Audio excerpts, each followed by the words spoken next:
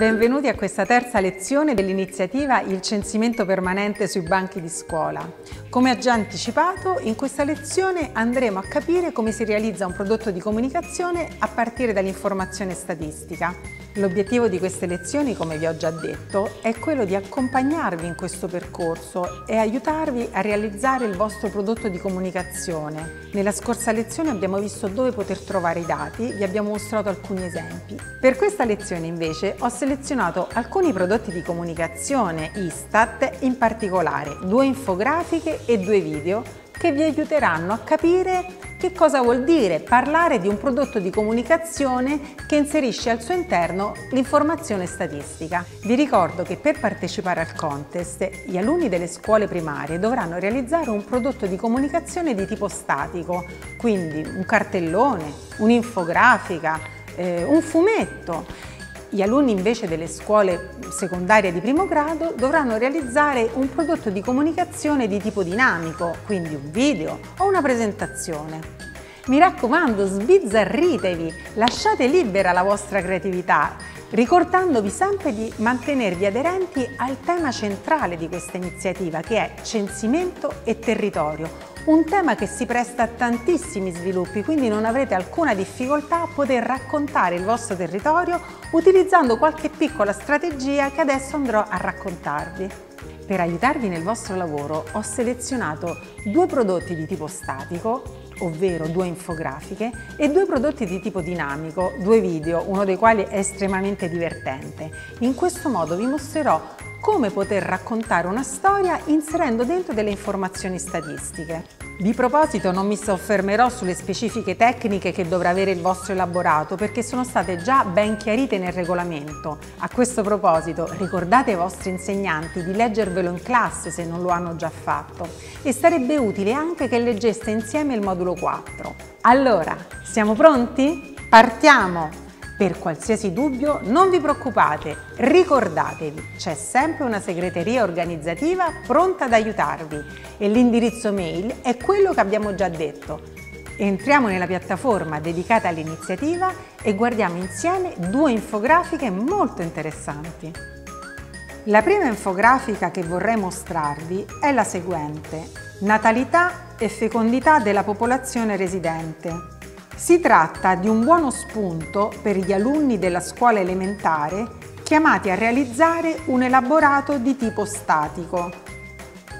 Osservandola, ciò che salta immediatamente all'occhio è l'immagine. Un bimbo o una bimba, appena nato oppure nata, tra le mani di quella che è presumibilmente la sua mamma. L'immagine scelta evoca immediatamente il tema dell'infografica. Un'altra caratteristica interessante di questa infografica è la differente grandezza delle scritte che mette in evidenza i dati che guidano l'intera immagine. Da un lato la quantità di bambini nati nel 2017, dall'altro il numero di donne in età feconda durante lo stesso anno, unitamente alle variazioni percentuali caratterizzate come vedete da un segno meno. Sono i numeri all'interno del pallino rosso, li vedete? Questo significa che rispetto al decennio precedente, cioè rispetto al 2008 in questo caso, sia il numero di bambini che di donne in età da poter avere bambini sono diminuiti. I primi in maniera piuttosto significativa, addirittura scendono del 21%. Andando avanti nella lettura dell'infografica notiamo altre quantità che danno informazioni che consentono di approfondire la conoscenza dell'argomento trattato. Non sono informazioni scritte, dai numeri si possono dedurre. Per esempio, abbiamo il dato del numero dei primi figli, che anch'esso sembra in diminuzione. Questo dato, se viene confrontato con quello dei bambini nati, ci fa compiere una eh, riflessione che appunto non è scritta, ovvero che quasi la metà dei bambini nati nel 2017 è, almeno per il momento, un figlio unico. Nella parte centrale la slide ci dà indicazioni sui genitori di questi bambini che sono nati nel 2017 e ci spiega che alcuni sono sposati e altri non lo sono. Un dato che salta immediatamente all'occhio, per esempio, è che rispetto a dieci anni fa aumentano in maniera significativa i genitori che non sono sposati, mentre diminuiscono in modo rilevante i genitori sposati. La parte destra della slide invece ci dà informazioni sulle donne. Sono diverse le notizie che si possono apprendere da questi numeri pubblicati. Ad esempio, riusciamo a vedere immediatamente che nel corso degli anni sono aumentate le donne che non hanno figli rispetto al passato ed è anche aumentata l'età media in cui una donna ha il suo primo figlio. Come vedete con pochi numeri si può raccontare una storia, dando la possibilità a chi osserva il prodotto di comunicazione di compiere molte riflessioni. L'avreste mai pensato? Ebbene, anche il vostro lavoro ha questo scopo. Sono certa che riuscirete benissimo, ma andiamo a vedere un'altra infografica, un pochino diversa da questa. Qui si è scelto di raccontare una storia utilizzando un tipo di immagine un pochino più elaborata. Da un lato abbiamo una rappresentazione di una situazione evidentemente positiva, lo riconosciamo ad esempio dalla scelta dei colori, prevalgono il verde, l'azzurro. E lo riconosciamo anche dalla scelta degli elementi inseriti, le foglie, una macchina con una spina, che evoca una macchina elettrica chiaramente, i pannelli solari. Dunque questa è un'immagine che ispira tanta serenità, non trovate? Dall'altro lato invece abbiamo una rappresentazione sicuramente più negativa, anche in questo caso lo capiamo dalla scelta dei colori. Sono utilizzate infatti varie gradazioni di grigio, e lo capiamo bene anche dalla scelta degli elementi inseriti. Come vedete in primo piano compaiono le nuvolette di fumo, la fabbrica, una scavatrice che abbatte un albero.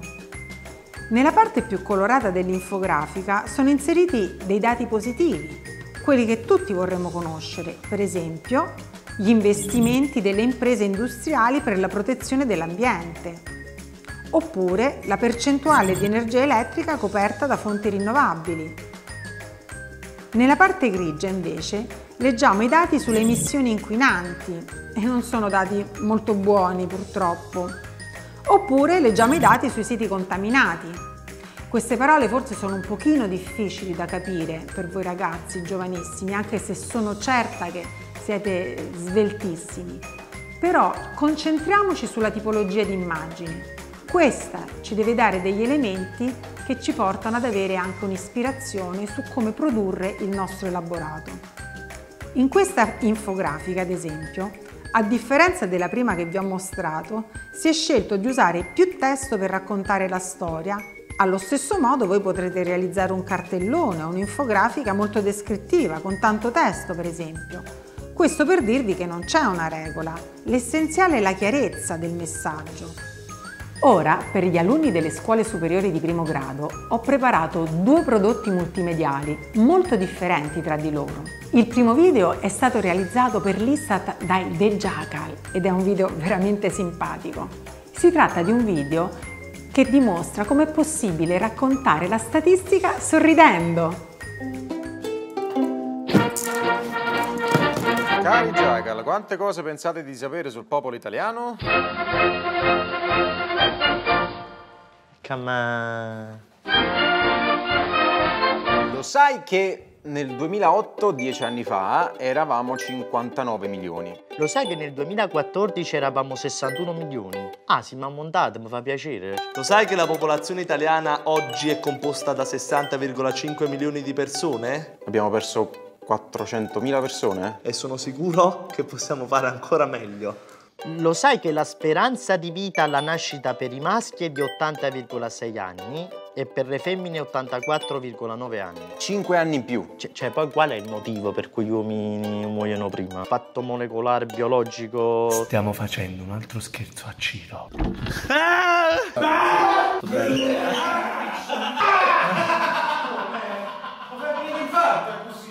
Cromosomi, non...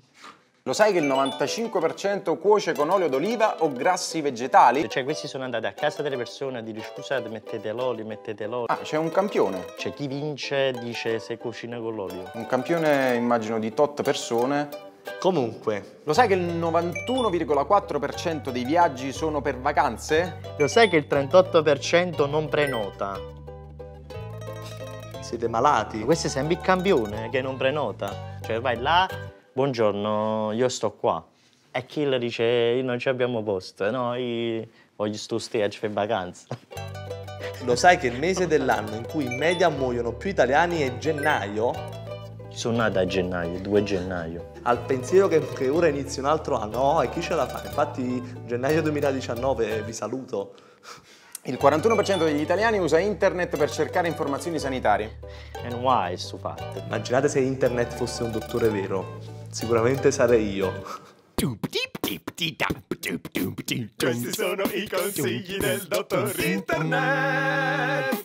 Salve, buongiorno dottore, volevo chiedere, sono un paio di giorni che ho questo prurito dentro al naso, c'è un lieve fastidio dentro al... Tumore alla prostata. La prostata, e come è collegato? Scusa, Ma non mi urta! Ma lei, dottore, ma non mi vale! E anche questa ricerca è andata a buon fine. I consigli del dottor Internet. Andiamo avanti.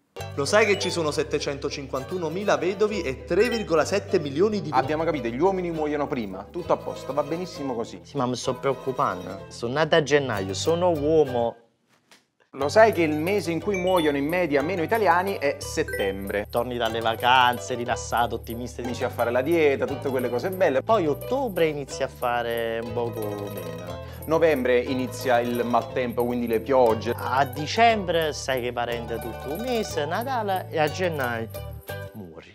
Non è suicidio, è lasciarsi andare. Comunque, Oh, è finito. Che cosa abbiamo capito da questo esperimento? Allora, Cioè, abbiamo imparato che non importa eh, che tu prenoti le vacanze e usi l'olio d'oliva per cucinare, ti chiami Francesco o sei nato a gennaio, l'importante è che se sei uomo italiano muori prima.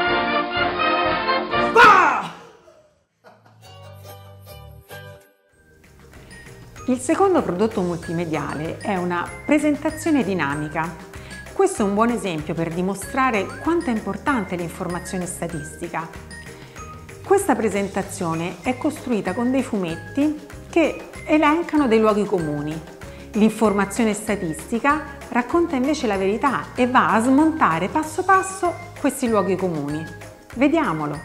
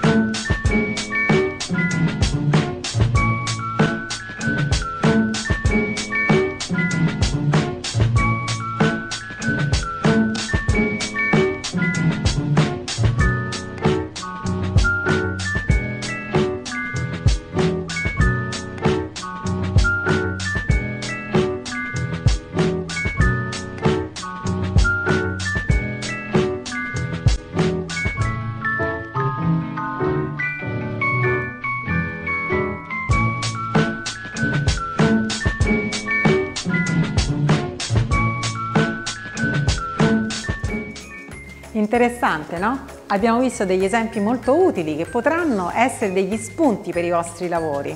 Prima di concludere vorrei ricordarvi una cosa molto importante. Non utilizzate immagini, filmati, musiche coperte da diritto d'autore. Se avete bisogno di contenuti, utilizzate solamente i siti che autorizzano eh, la possibilità di scaricare dei materiali. In questo naturalmente fatevi aiutare dai vostri insegnanti.